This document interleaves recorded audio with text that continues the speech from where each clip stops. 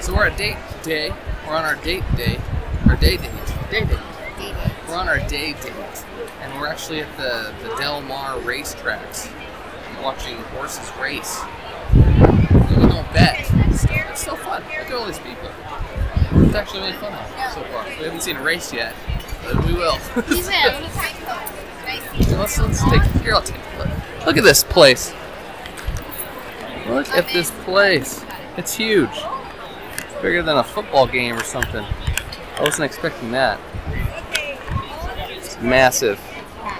Here's all the rich people that get to play or uh, eat food while they're watching, and, and we get to stand up and go by the gates. But we're close to the, the the track, right? See, Angie, looking at the good things. That's what I love about you.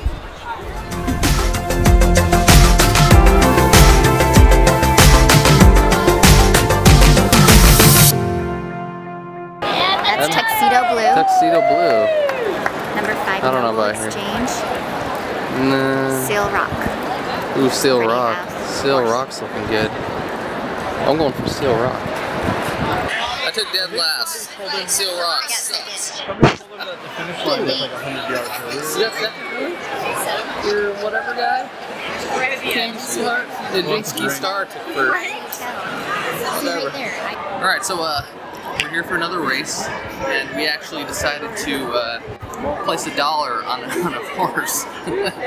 Put a dollar on a horse. We gotta pick two horses. We really don't understand what's going on. We just stuck a dollar in there and it said pick two horses. So pick number four, uh, which is Naham, and number one, which I can't remember the name. A moment of weakness, Moment of Weakness. yeah. So uh, like like we are right now. Moment of weakness in betting.